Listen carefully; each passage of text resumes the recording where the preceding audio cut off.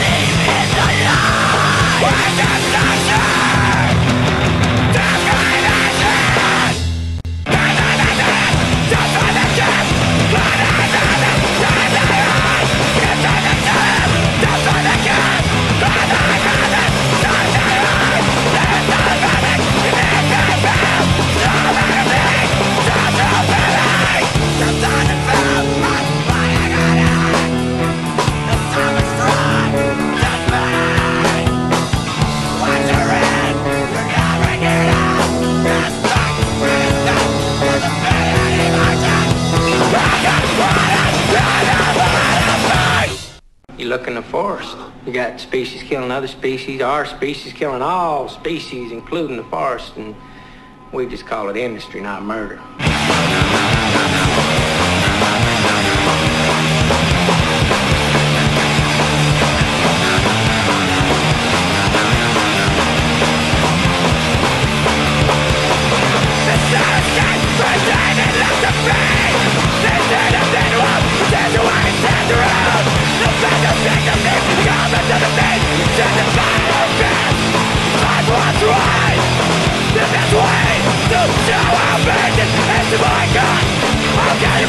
take a breath.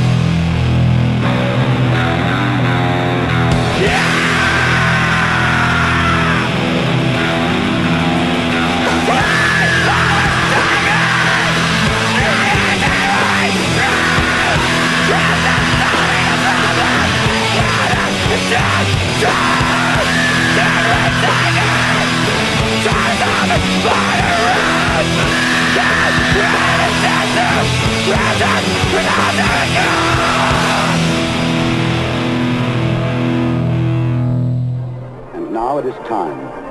Time for man to break free of his provincial planet, to expand physically and mentally into the future, into the universe, into reality.